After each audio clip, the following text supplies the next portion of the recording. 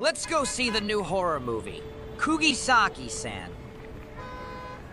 No way. That's gross. I'm going shopping. See you later. Nice. As Itadori isn't coming with me to the mall, I'll take the chance to visit the glory hole place. Hello, this is Kugisaki. Do you have a free booth for me? Yes. Great, he'll be there soon. But first, I'm gonna look into something. Welcome. Ah! Those are a lot of men. Hmm. Ah, I'm safe. They want to feel me already.